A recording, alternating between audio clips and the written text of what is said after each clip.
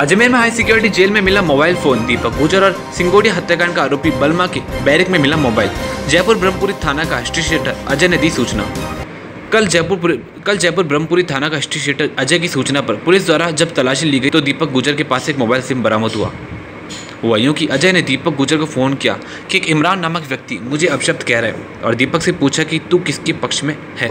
जिस पर दीपक ने कहा कि जो सही होगा, मैं उसके पक्ष में रहूँगा। इस बात को लेकर दोनों के बीच झड़प हो गई और अजय ने हाई सिक्योरिटी जेल में फ़ोन कर सूचना दी कि दीपक गुजर के पास मोबाइल फ़ोन है। सूचना पर रात्रि को तलाशी ली तो दीपक के पास से फ़ोन और सिम बरामद हुई। वह सुबह की तलाशी में सिंगोदिया हत्याकांड का आरोपी बलमा के पास से भी फ़ोन बरामद हुआ। सर।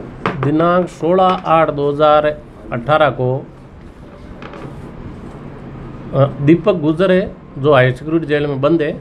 उसके मोबाइल नंबर चौरानवे छः सौ बीस, चौबीस, तीन सौ पैंतीस पर है। अजय उर्फ़ बंटी, जो कि जयपुर जेल जयपुर ब्रह्मपुरी थाने का स्टेशन है उसने अपने मोबाइल नंबर से अंठानवे, दो सौ अंठानवे, पंद्रह, तीन सौ दो से दीपक गुजर के टेलीफोन पर टेलीफोन किया।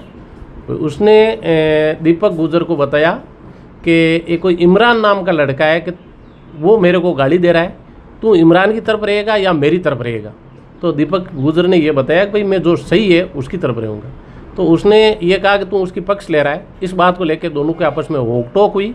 होक टोक होने के बाद में अजय उर्फ़ बंटी ने अपना नाम महेंद्र सिंह बता के और उस सुरक्षा कारागार पर टेलीफोन किया कि आपके जेल में बंद एक बंदी दीपक गुजर जो मुझे धमका रहा है और मेरे से पैसे की मांग कर रहा है।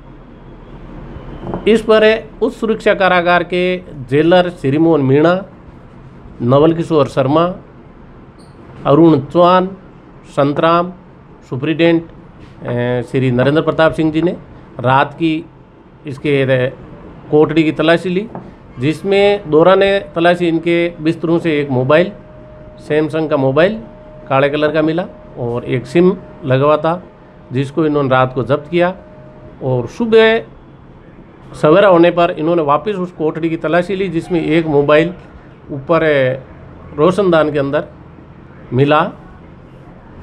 उक्त कोठड़ी के अंदर श्री वल्लभ और दीपक गुजर दोनों रह रहे हैं। अभी मुकदमा दर्ज होकर अनुसंधान जारी है। सर किस मामले में जेल में आए थे? ये तो ये धौलपुर में है हत्या का प्रयास के कई मामले इसके दीपक गुजर के बाईस तेईस मामले बाईस मामले। Ram Narayan S I police थाना सिविल लाइन अजमेर।